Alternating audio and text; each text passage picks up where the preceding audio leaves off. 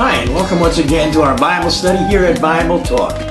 Here again in England, uh, Hallelujah. where we will be for the next few months. And it's been a, been a blessing, and we're sure it will continue to be a blessing. Uh, we're, con- we're continuing on in our study of the Sermon on the Mount. you have to excuse me a little, little English throat here. I'll tell you what. It's uh, it's uh, June as we do this, and it's a little cold and damp out there, especially for kids from Florida. That's right. All right, um, we're, we're continuing on. This is our twenty-second chapters, twenty-second part of our study in the Sermon on the Mount, the most radical, wonderful teaching ever. Uh, Jesus' most complete and first longest sermon. We we left off last week talking about storing up our treasures, having treasures, and and got to that place where Jesus says, "No man can serve two masters. You can't serve God and mammon." That's right. And that's where we're going to pick it up now. But I'd like to just start with a little asking God to bless our time together. Father, we just Thank you, Jesus. we thank you that we can gather in your name, in the name of your Son Christ Jesus. Lord, here and, and across the internet, Lord God, we, we thank you for the technology that allows us to reach out with your word, knowing that your word never goes forth without accomplishing your purpose, Lord God. And Lord, it's our desire, all of us, just to, to hear your voice and to learn from you, Lord. Lord, that we might make that transition from, from being religious to living righteous, Lord God, because it's our desire to live righteously. That men would see the things that we do and glorify you. They would see your life in us, Lord God. Jesus. That your light would shine in us and through us to touch the lives of others. So we just ask your blessing on your word as we gather and study it now in Jesus' name. Amen. Amen and amen. All right, so we're in uh, we're studying the Sermon on the Mount from Matthew chapter five, six, and seven. We're in chapter six right now, and we're going to start off uh, in verse twenty-four. As I said, okay, Jesus said, "No one." Now that's without you have to understand. We take the, the Word of God, we take the Bible very literally and seriously. Yes. So when it says no one, that's exactly what it means. No one. There's not an exception to this, okay? It doesn't matter how old you are, how young you are, how holy you are, how long you've been saved. Uh, you know, it's no one can serve two masters. For either he will hate the one and love the other, or he'll be devoted to one and despise the other. You cannot serve God and mammon. Now I'm going to say, I'm using the New American Standard Bible, and it says you can't serve God and wealth.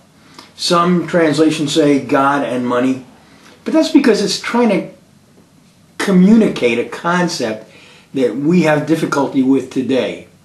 Now, there's nothing wrong with money. Money in and of itself is not evil. It's a tool. It, well, it is, and it, it, and it should be. It's you know, it's a. It, what it says in Scripture is that the love of money is the root of all sorts of evil. So, what we're talking about here, when if you're talking about wealth um, or love of money, love of money is greed, and greed, Paul says, is idolatry, Yes. right? So, but we are talking about when wealth is having a desire for or having more than you need. All right, that's that's literally what riches are. What wealth is is having more, having an abundance, more than you need. And you know there will be times when God gives us an abundance, but the purpose of abundance is that we might meet the need of others. That's right. That's what it says in Scripture. That's what Paul wrote to the church at Corinth. okay, but you can't serve God and wealth. No. This is about who you will serve. Everything in life boils down to this because you're going to serve somebody. Jesus Christ said, You're either for me or you're against me. No man can serve two masters, but you are going to serve one master. Jesus also said, You are either a slave of righteousness or a slave to sin. But either way, you're a servant, you're a slave to something, either righteousness or sin. Everybody serves somebody. The issue of who you serve is all important because it has to do with worship. Okay. And worship has to do with recognizing the awesomeness of God. Humbling yourself, bowing before the King of Kings, the, the Lord of Lords, the King of Glory. Um, you know, Isaiah goes into the throne room and it has a vision in Isaiah chapter 6. And he stood before the throne, right? Yes. And eh, his immediate reaction was, I'm a sinful man. I'm a man of unclean lips. It's a humbling experience to come into the, into the presence of the living God. It should be a humbling experience. If it is not, you're in serious trouble. You're in significant trouble if it's not a humbling experience.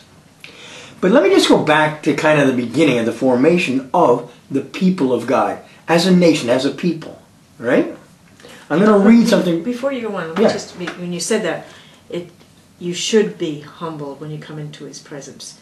Is it possible for anybody to come into His presence and not be humble? Absolutely, positively. Although I don't understand it, and I don't understand how that can be, mm-hmm. except that people have hardened their hearts Okay. and so filled with pride that they have they they They're so full of themselves. that their mind becomes debased. right? Okay. In here in the Sermon on the Mount, and we will, you know, get to this at some point. At the end, towards the end of the Sermon on the Mount, in chapter seven, Jesus talks about in that last day, that final day, that day of judgment, when, when people come to Him. He said, many will come to Him on that day, and they'll be saying, "Lord, Lord, look what I did in Your name." Let me let me read this to you, right? Matthew chapter seven, Twenty-two. exactly. Or Twenty-one. No, I'm going to start at. Um, I, I, I'll on. Thank you. I'll start for your behalf on verse 21. 721. Not everyone who says to me, "Lord, Lord," will enter the kingdom of heaven, but he who does the will of my Father who is in heaven will enter. You know, because you can call him Lord and not make him Lord. That's right. And in verse 22 it says, Many will say to me on that day, Lord, Lord, did we not prophesy in your name, and in your name cast out demons, and in your name perform many miracles? And Jesus said, And then I will declare to them, I never knew you. Depart from me, you who practice lawlessness. What lawlessness? Was it lawlessness that they cast out demons in his name or prophesied in his name and perform? No, the lawlessness is that they don't recognize the awesomeness, the su- su- supremacy of God Almighty there in their midst. They come into the presence of the living God. They come into the presence of Jesus Christ, standing there on that day with outstretched, nail-scarred hands, and they say, "Look what I did." Right. Right. It's a focus on themselves.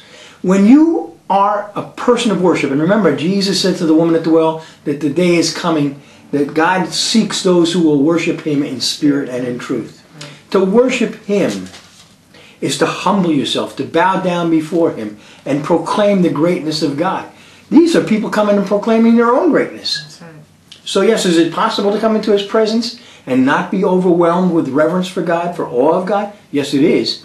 But, it, you know, it took practice. Yes. It took practice to ignore God and focus on yourself. Mm-hmm. Pride is insidious, pride is dangerous.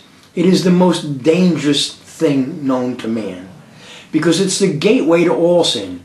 It says in Proverbs chapter 6 that, that there are six things, yea, even seven, that are an abomination to the Lord. The first one is haughty eyes, mm-hmm. pride. It's the first one because it's the gateway. It opens the door to all sin. Mm-hmm. Right? So we need to be how do you how do you be on guard against pride? Well, first of all, practice what it says. Humble yourself in the sight of the Lord, and he will exalt you. You choose to deny yourself, to die to yourself. But the other thing is, it says in Hebrews chapter 12 that we're to fix our eyes on Jesus Christ, the author, the perfecter of our faith. Not be looking at yourself, but to be looking at the living God, to be looking at Jesus Christ. What he did. This, you know, Paul says that salvation is a free gift of God, not of works, lest any man should boast. There is nothing that you did do to deserve the grace of God, the salvation of God. There is nothing that you can do to deserve or earn that salvation of God. It's not of works lest any man should boast, because that's what man would do, would be to boast. Mm-hmm. It is the atoning work of Jesus Christ and only the atoning work of Jesus Christ on that cross that has brought us into a right relationship with God the Father. Nothing else. Right. Okay, so who are you going to serve? Are you going to serve God or are you going to serve mammon, this wealth, this, this riches? Now, what I was going to say is back in the beginning when God was forming his people. Now, remember, there's been a family. This started, the, the church starts. A lot of people say, well, church started on Pentecost. I don't agree with that. Because the church is a gathering of believers mm-hmm. in the presence of God. Well, I'm going to tell you something. Adam and Eve were gathered in the presence of God. Yes, they were. All right, they were the people of God. That's that That that, church. family was the first church. Mm-hmm. All right, and it grows from there. And then it's like that's how church becomes. It starts as a family, it grows, but it grows as a family because the church is through the promise of God, the sons of Abraham, the family of Abraham. Mm-hmm. Right? Mm-hmm. He through the child of the promise, who was Isaac. You can't number the stars. You can't number the grains of sand on the earth. You can't number the myriads of, of mm-hmm. people who would come from Abraham. Mm-hmm. But it's a family affair. So now that family, through Joseph, winds up in Egypt. And then a Pharaoh arises, I'm giving you the whole history of the world here. Mm-hmm. The Pharaoh arises who doesn't know Joseph and begins to oppress the Hebrews, the family of God. So there they are. They're in Egypt. The people of God, the Hebrews, the Jews, the family of Abraham. They are in Egypt and they're being oppressed by harsh taskmasters under the authority of the Pharaoh. Right. Right? So listen to this now. This is from Exodus chapter 4, verses 22 and 23.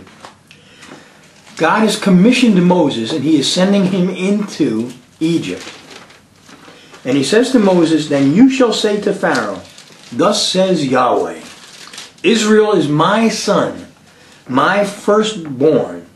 So I said to you, Let my son go, that he may serve me.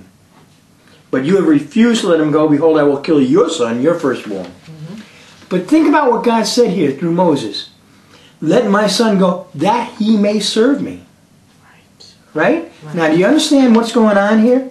God was freeing his people from the bondage of Egypt because no man can serve Two two, masters. masters. Mm. They could not serve Pharaoh and serve God. God. Right.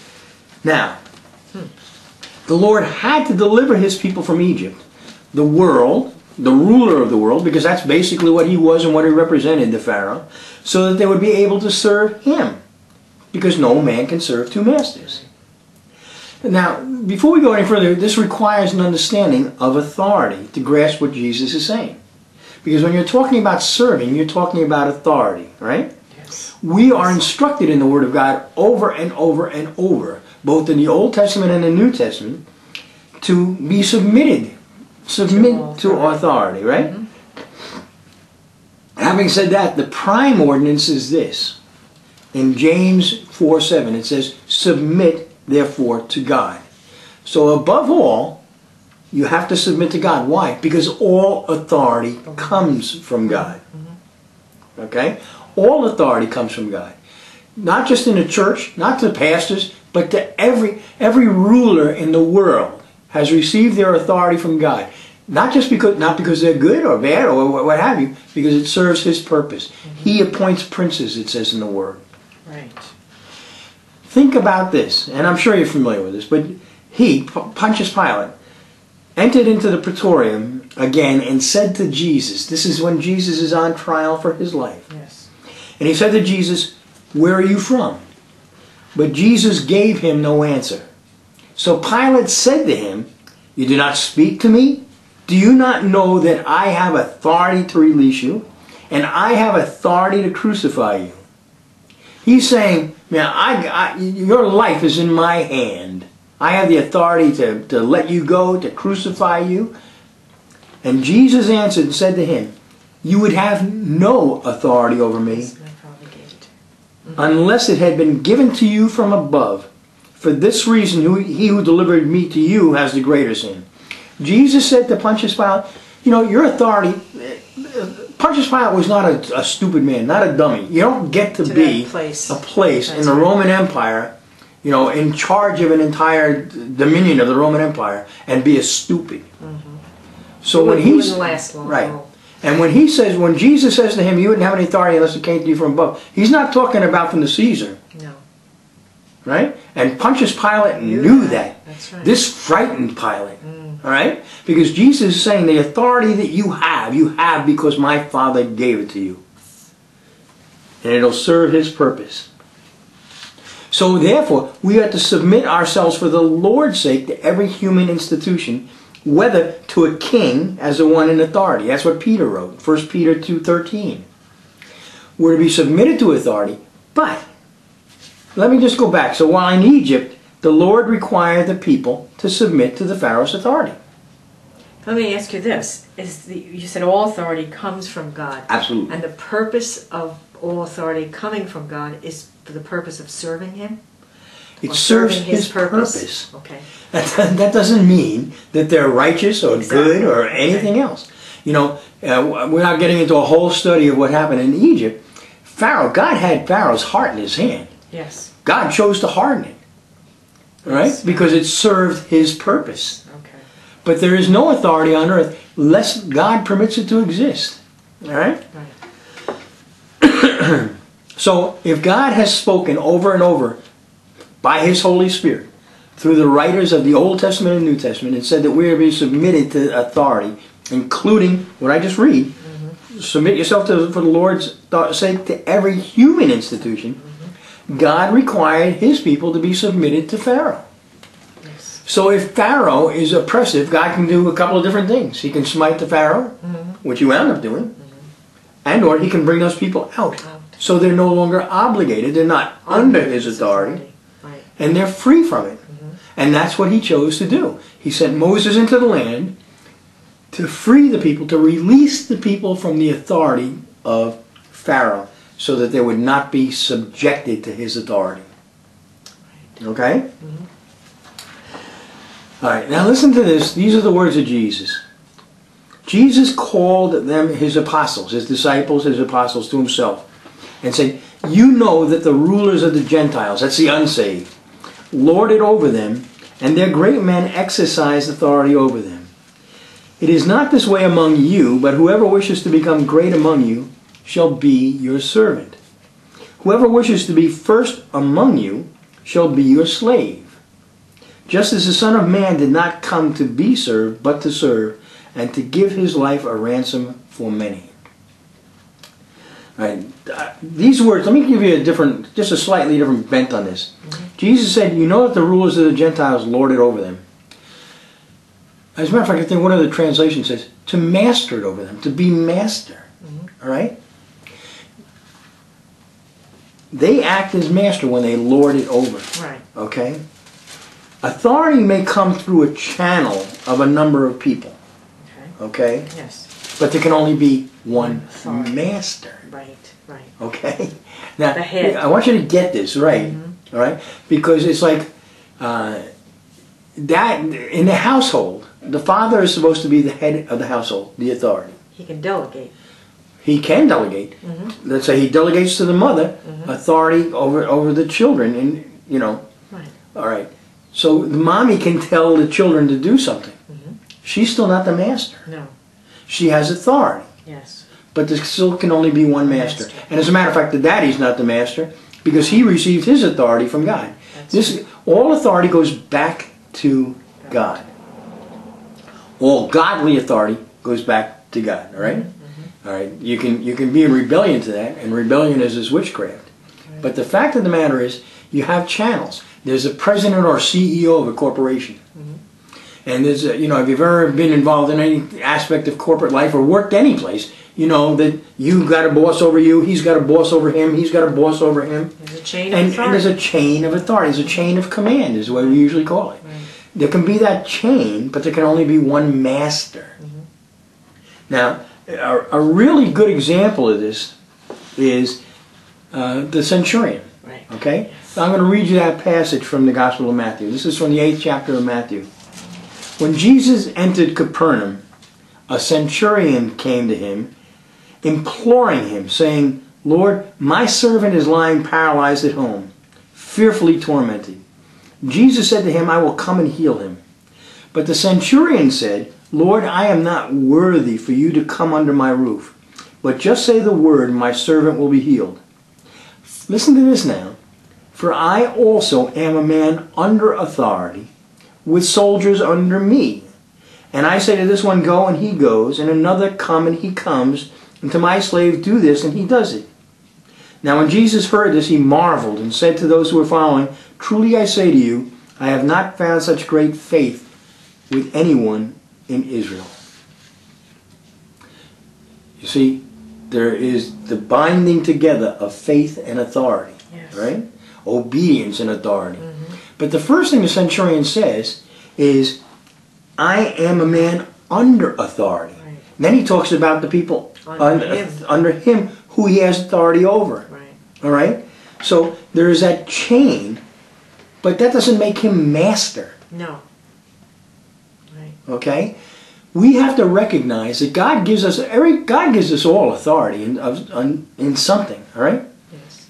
That's the way He works. He is the author, which is where the word authority comes from, by the way. Mm-hmm. Right? Nothing came into being without Him. He's the author of all things. So He has authority over all things, and He delegates authority.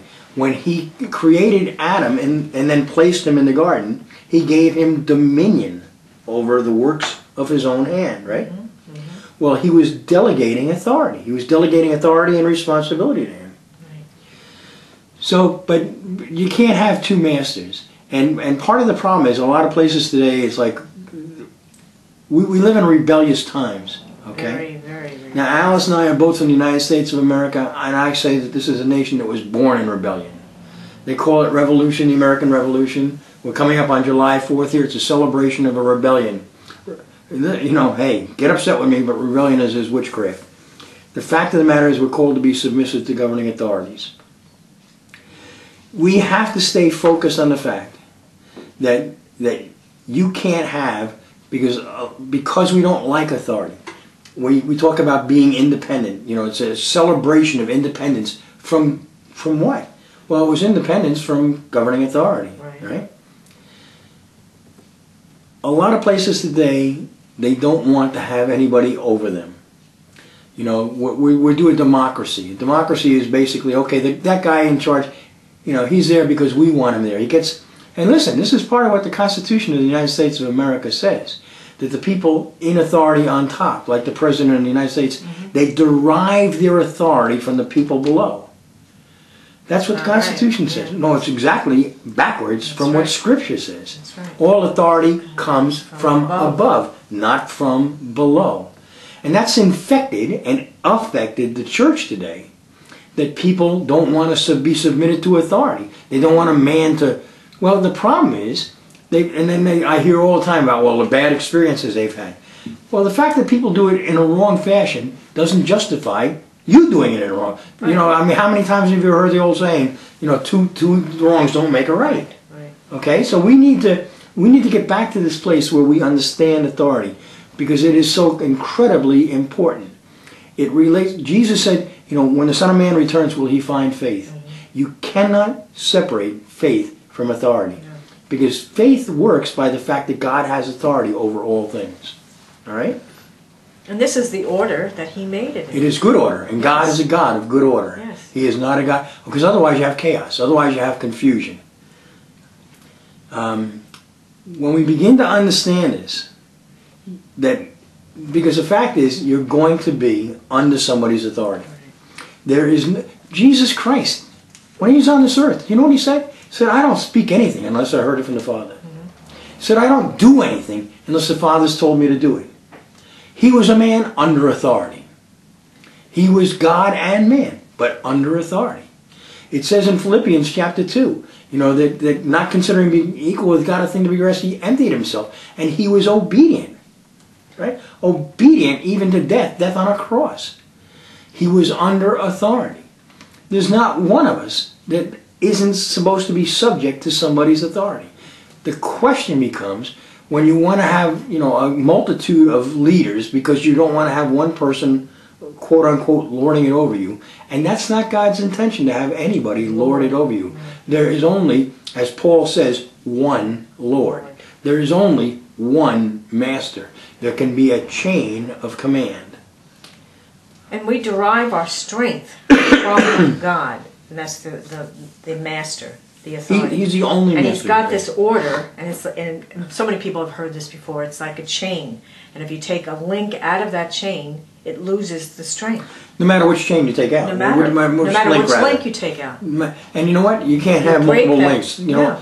that that chain of command is link Straight. after link after like link the after link. line. It doesn't come down and then divide the ninety-seven different No, links going off in different directions. Um, okay. The centurion, who so impressed Jesus, and he did so impress Jesus, understood that he was in the middle of a chain of command. Right, Okay. right. So yes, you know, a child can have a mother over him Mm-hmm. and a father over that, and you know, and go on and on and on. Or if you are at work, you can have a direct manager, and that man answers to another manager, and that man answers to a vice president, and that vice president answers to a president. Right. You can have that chain of command, but they can't.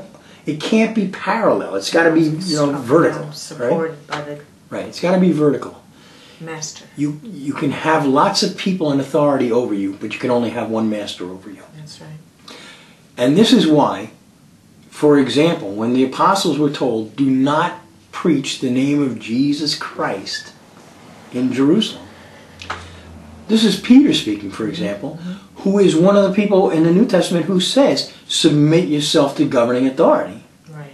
And yet, when the when the Sanhedrin said you cannot preach the name of Jesus Christ, he said, "Well, you be the you be the judge whether we should be submitted to God, you know, or to you, because you can't. They're trying to master it. They're trying to lord it over. They're they're stepping outside the bounds of the authority that God has given them. Right. They didn't have the authority. Because God will never say, "Don't preach the name of Jesus Christ." Exactly. And and uh, I don't. I, I so easily side my track myself. Sidetrack yourself. Is that what I said? oh, I need an aspirin. Okay, hallelujah.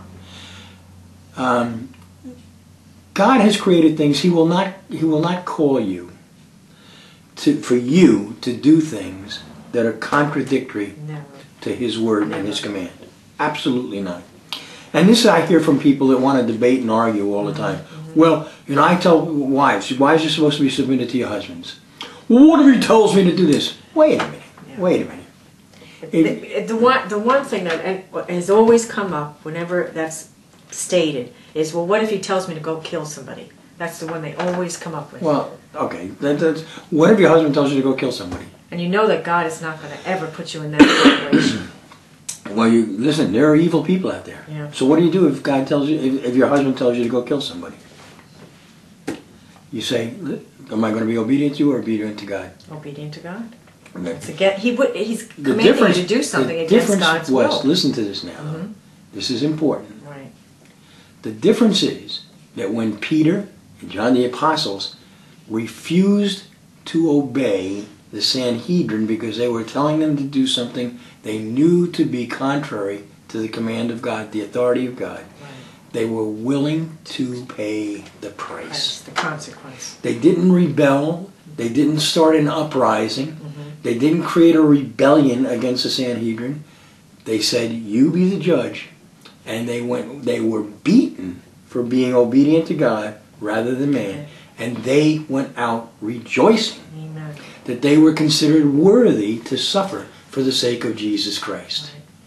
You have to be prepared to suffer the consequence of standing under the authority of God.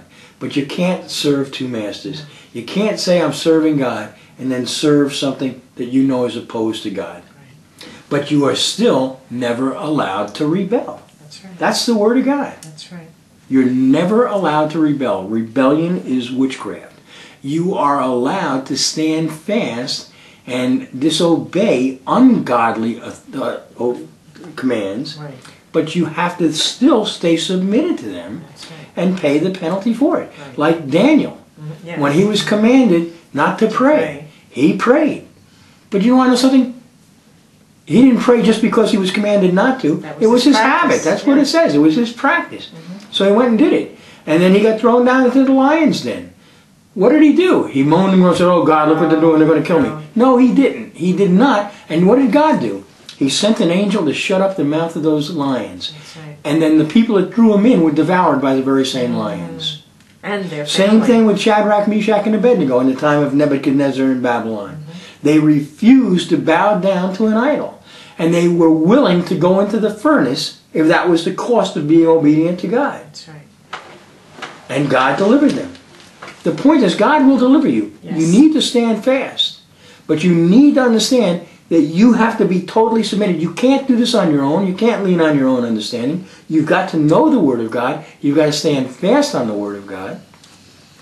And you have to serve God. You have to serve Him because He is the Master. You know, I've said this before. Somebody asked me once, what's the great, in, in all the decades that I've been serving the Lord, what is the one single thing that is most important that I've learned? And it is this Jesus Christ is Lord. And I'm not. That's right. And you want to know something else? Nobody else is. There's only one Lord. Mm-hmm. There are people in my life who are in authority in my life. You want to know who's in authority in my life? The cop that's walking down the street. You know who's in authority in my life? I'm in England. I'm not even a citizen of England, but I still have to be submissive to their to their laws. I have to be. I've got to be submitted. I've got to be obedient to the traffic laws, to whatever laws mm-hmm. there are. You know, I have no justification not to just because I'm not a citizen of this nation. They all have authority in my life, but it's God given authority. And it won't, you know, if it conflicts, it, I haven't, I've driven down the street and I've seen signs on the street that say, okay, the speed limit's 40 miles an hour. I haven't driven down the street and seen things that say, okay, go kill somebody. Yeah. I, I will, however, I, and I will tell you this. For example, here in the United Kingdom, mm-hmm. put this on record, why don't I? It is against the law in I was going England to say that. as it is in many, many nations of the world mm-hmm. today, and in many places in the United States, mm-hmm.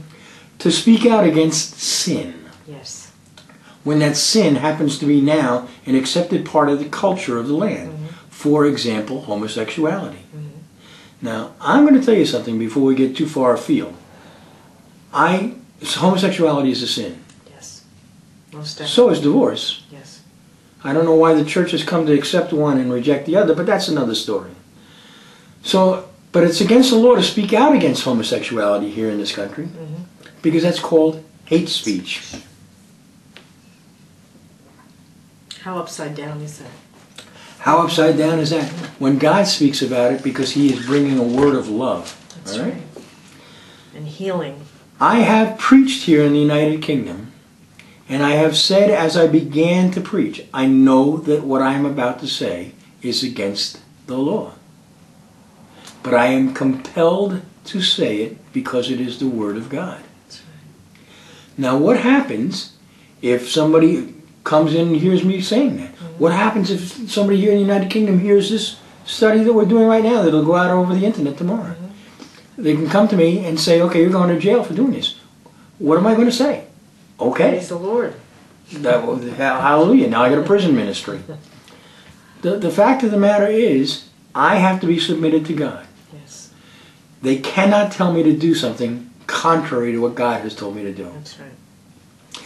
They can, however, enforce their authority that God has given them. Mm-hmm. They can abuse their authority. that God has given. If they abuse their authority, that's between them and God, not between them and me. Mm-hmm. And I have to have enough faith and trust in the author of all authority that he is able, capable of dealing with that situation. Amen. I don't need to take that situation into my own hands Or lean to on try, your own to try and deal with That's it. right. Because that's when everything goes pear-shaped, as they say mm-hmm. here in the UK. Mm-hmm. When you take the thing into your own hands and try and rectify it. You can't, you shouldn't, you better not. Mm-hmm. Okay, here I go. The reason Jesus said you can't serve two masters is because you will hate one and love the other. Now, the one master who is faithful and true, you know his name? You know his name? Yeshua. Okay. This is what he says. And he was saying to them all, If anyone wishes to come after me, he he must deny himself and take up his cross daily and follow me. For whoever wishes to save his life will lose it. Whoever loses his life for my sake, he is the one who will save it.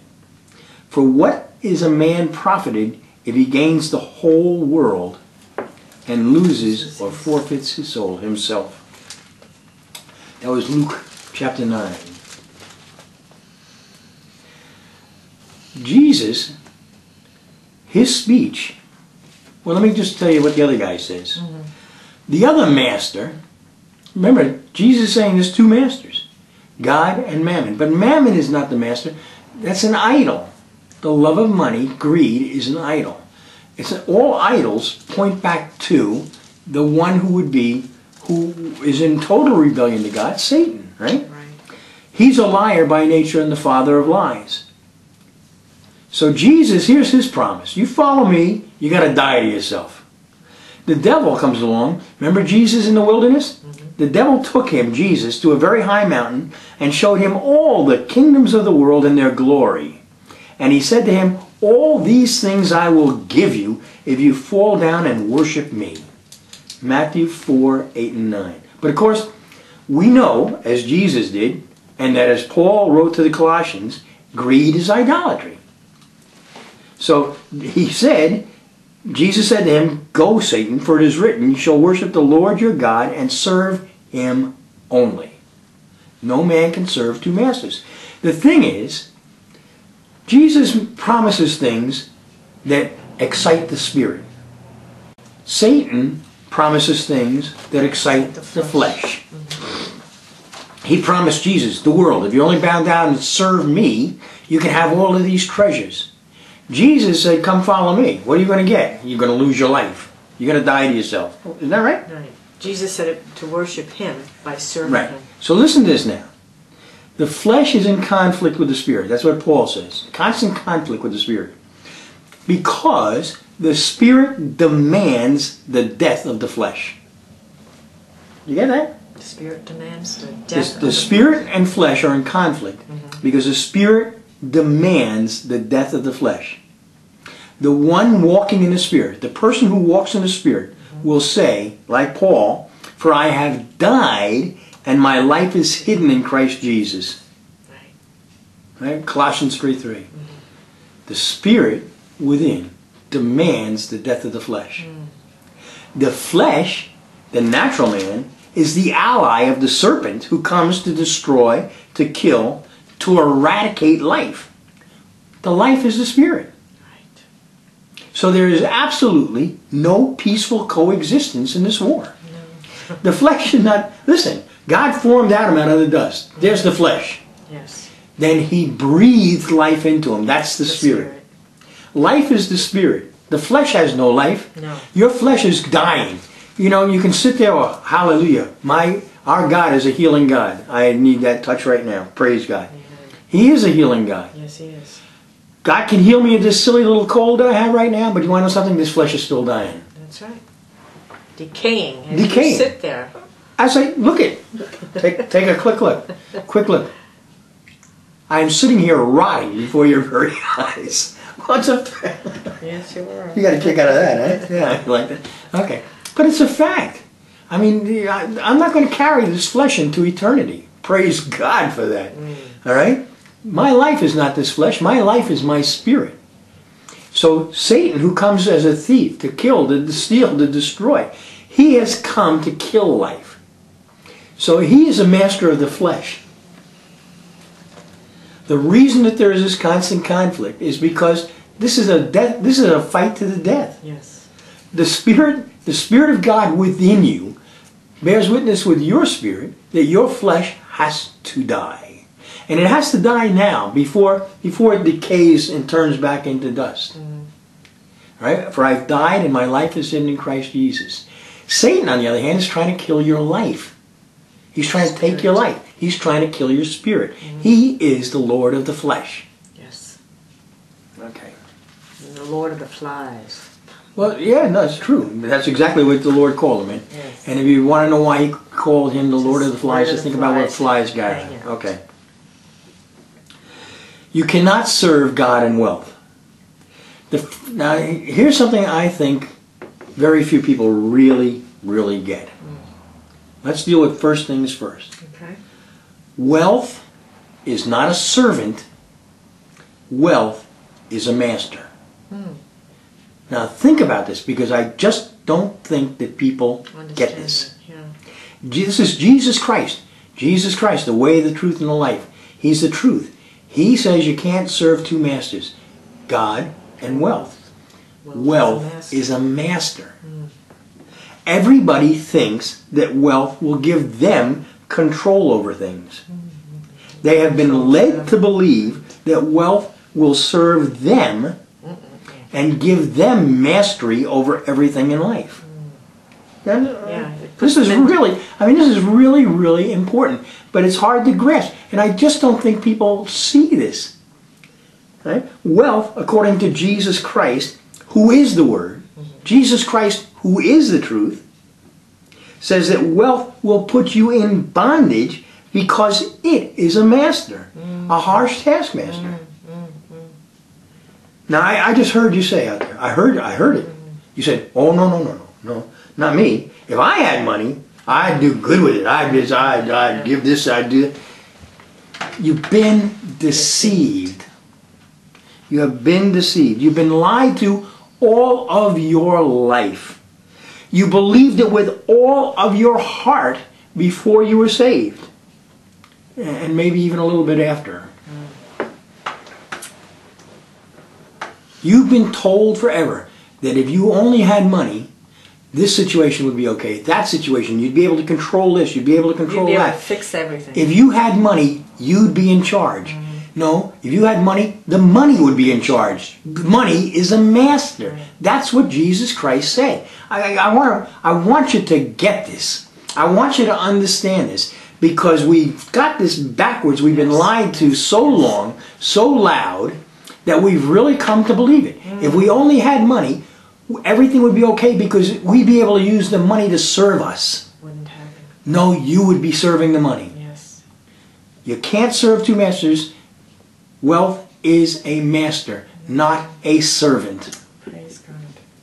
Jesus Christ said, uh, think about this.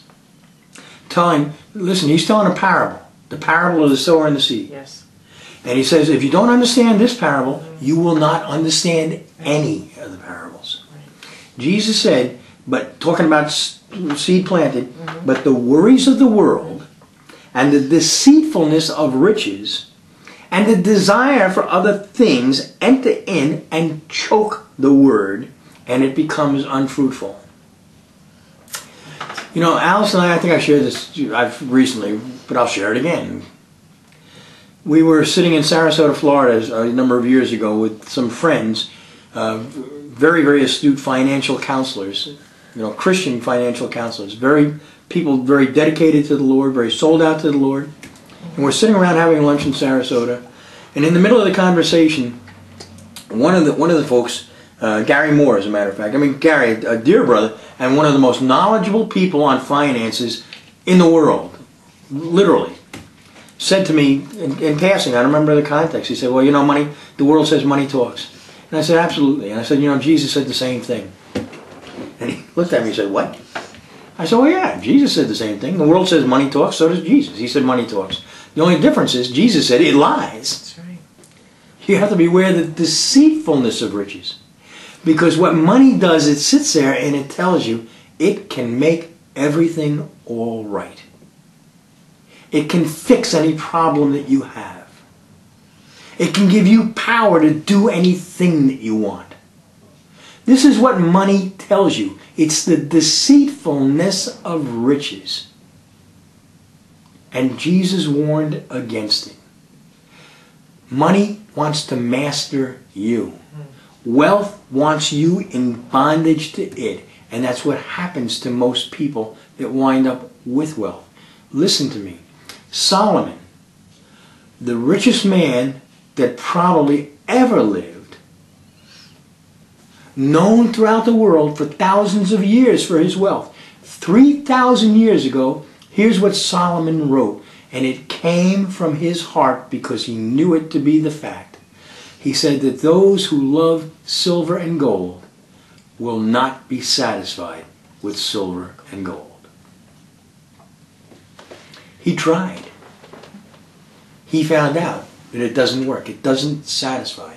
When Jesus said, What does it profit a man to gain the world and lose his soul? Gain, gain the world. How much riches are there in the world? Well, you know, it's probably a little worse today than it was five, six years ago. But um, if you take all of the riches of the world, now remember, we're talking about not just the money sitting in banks, the money sitting in the pockets of every human person. Right. We're talking about every diamond under the ground. We're talking about every piece of gold sitting in port. We're talking about all of the wealth of the world. He said, all. What would it gain a man to, what would it profit a man to gain all the world? Which is what Satan offered him, by the way. Yes, yes.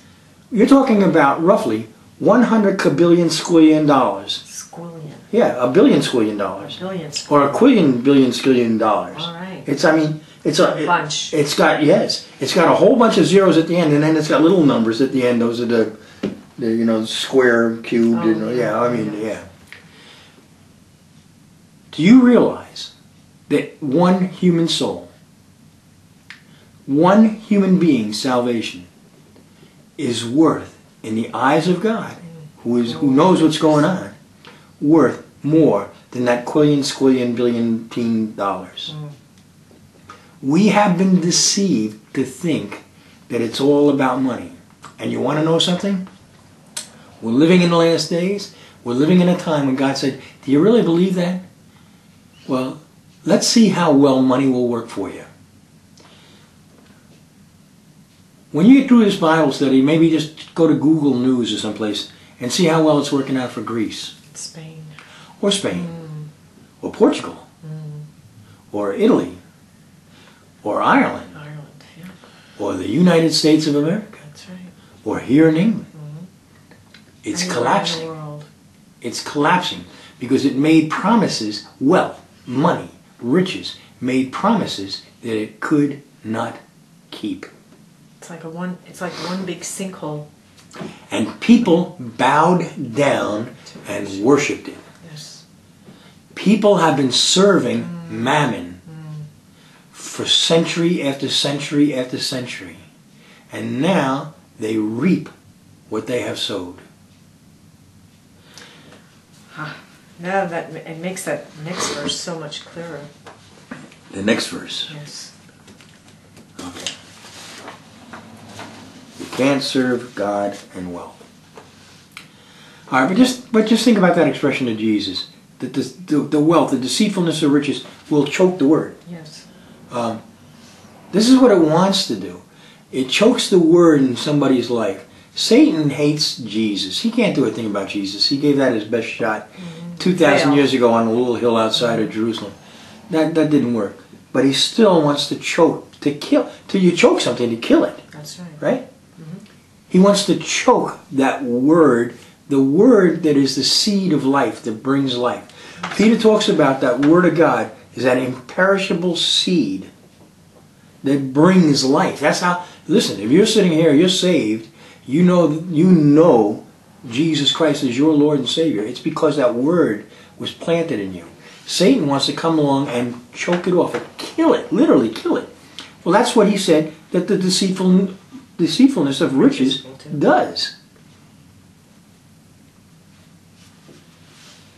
We we have to. I know. I listen. I know how difficult this is, and it's difficult because you have been so. That's what I said before. You have heard this all. You all of your life. You have been told that money is the answer. It's another purple grass, isn't it? It, but it's incredible. Yes. I mean, because know this this has been forever. Yeah. It's been forever. You have heard that money is the answer. That's always. Yeah. Okay? Jesus said riches doesn't pro- they don't profit. So what they don't profit and he's saying you can't you know what it does you know what it does is you can't serve two masters. Mm-hmm. It is taking you away from serving God. Right. Right. Because you're focused on what it can't do. A mind set on money is a mind which has turned its back on God Almighty. Mm-hmm. It's that simple. And then the next verse says, For this reason I say to you, do not be worried about your life. Let me just stop right there. I, as I said, I'm reading the New American Standard. It says, For this reason. Because you can't serve God and money. Because you can't do that. Now I'm saying to you this. To The King. James says, therefore. The literal translation says, therefore. Or the Young's literal translation says, because of this. You got to get this. Jesus Christ, he's saying this, he's teaching this to his apostles in the beginning of the ministry. Saying, you can't serve the world's wealth and God. Mm-hmm. And because you can't, you don't be worried about your life as to what you will eat or what you will drink, nor your body as to what you will put on. Is not life more than food and the body more than clothing? And you know what this is saying to me is that if you are serving money and wealth, this anxiety for all of this will be that's that's a fruit of it. You're going to be anxious about That's it. That's right. You, if you're not serving God, it, you know, it says, the, what does yours say? You might be anxious? Anxious. Yeah, Alice has the New American Standard also. She's got the earlier edition. Mine says, Jesus said, don't be worried about what your life. And that says, don't be anxious. Anxious is the right word. It's anxiety. Right.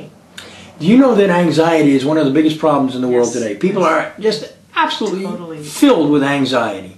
They're worried about how they're going to pay the next month's rent. They're worried about what they're going to eat. They're worried about how are they going to pay for their kids' school. They're worried about this and worry, worry, worry, worry, worry. But that's an indication of who you're serving. It means you're not serving God. Exactly. That's exactly That's the point. And Jesus is explaining this to his apostles and his disciples at the very beginning. Remember, let's go back and not lose sight of the fact. I know, you know, it's been uh, 22 weeks since we started this study. But we said at the very beginning of this, Jesus has gathered his disciples and named his apostles from that group. And now, before he sends them out as the light of the world and the salt of the earth into the world, he is training them in righteousness. Yes. That's what the Sermon on the Mount is, is training in living righteously. So now he's saying to them, you know, you can't, if you're going to serve God, now obviously, I mean, you know, the, the, that's, the, that's the assumption here, that's the default position, is that we want to serve God. That's why they're sitting there listening to Jesus Christ. And he's saying, well, you can't serve money too. Because if you do, you can't serve God. So now I'm telling you, don't be worried about what you're going to wear, what you're going to eat, what you're going to drink. If you're serving God, you won't be worried about what you wear, what you eat, or what you drink, or your life. Now, why is because that? you'll be trusting in Him. Why is that? Because He provides for Why, everything, why, is, that? and He never why is fails. that? Why is that? Why is that? Because He said it. Ah, because perfect love casts out fear. When your love for Christ is perfected and you know that his love for you is perfect, Right. you will have no worry. You will right, have that's no right. Because why?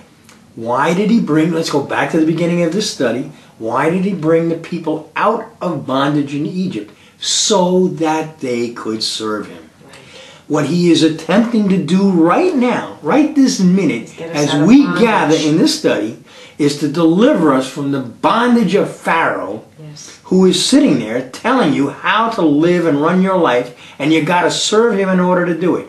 If you think that he was a harsh taskmaster, Satan sitting there somewhere, you know, on your shoulder if you watch the cartoons, mm-hmm. and saying to you, "Oh, if you don't get some money, you're going to starve to death. Oh, if you don't get some money, you're not going to be able to the make a car street." payment. If you don't get some money, you're not going to be mortgaged and be put on the street." Mm-hmm. All he wants you to do is be filled with anxiety and, wor- and That's worry. Right. That's right.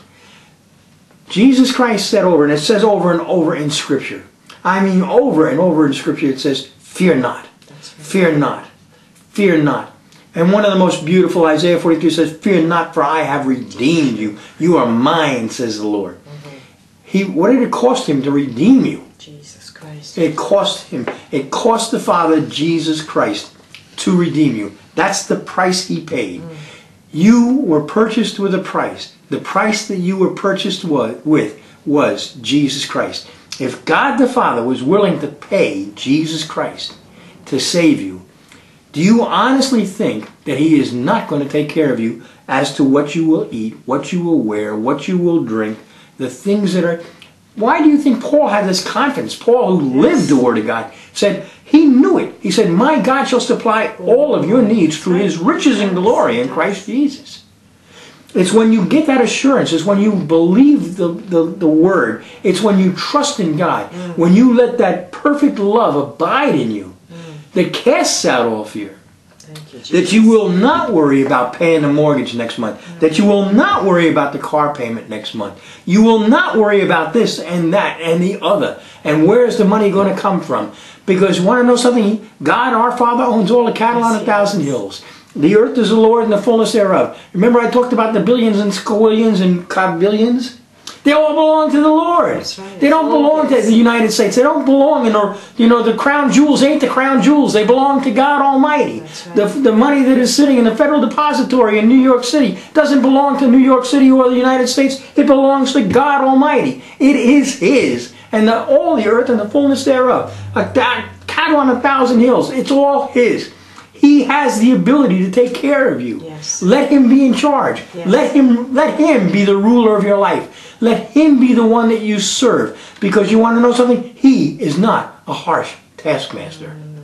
He is calling you to that place where there are green pastures and still waters. Mm. The Lord is my shepherd, I shall not want. Mm. He is not calling you to build pyramids and make bricks and not give you the straw to do it. He is not that kind of taskmaster. That's the world. That's the Pharaoh. That's the devil who sat in the throne there. Mm. God Almighty wants to bless you. He wants you at perfect peace. And the mind set on Him, set on His Word, will be at perfect peace. Hallelujah. That you can serve Him. Hallelujah. Thank you, Jesus. Because you can't serve God. You cannot fix your eyes on Jesus Christ while you keep glancing over at the bill from the electric company. Right. You can't do it. No matter how hard you try, no matter how long you've been saved, no matter how spiritual you are, if your mind is focused on those things, what you're going to eat, what you're going to drink, what you're going to wear, you are not able. You don't have the ability to serve God. You may think you are, but you're lying to yourself. It is the deceitfulness of riches. Remember, the heart is deceitful above all else. Trust God. Trust God. Risk everything on God. We're going to talk about this on the, in the next session. I promise you. We are going to talk about getting to that place where you can stand and say, God, if you don't do it, it doesn't get done. I'm going to trust in you. I am going to risk everything on you. I am going to put my faith in you and nothing else. Amen. Because, Lord God Almighty, I want to serve you and you alone. Amen. For you are the Lord of my life. Amen. You are the master of my life. You are the God of my life. And I will have no other. Thank you, Lord. In Jesus' name. Amen. You be here for the next session of this Bible study. Praise you, Jesus. Don't miss it. Honestly, tell others to be there. Let's let's just and please, if you have questions or comments, write to us at office at BibleTalk.com. We want to be able to share with you. We want to hear what God is speaking to you about these things. We are one body. There's only one body. One family. There's only one family. There's only one faith. And above all, there's only one Lord. Thank you, Jesus. So until the next time, Father, I pray mm. that each one of us would walk in that freedom that the Spirit of your, your Spirit brings.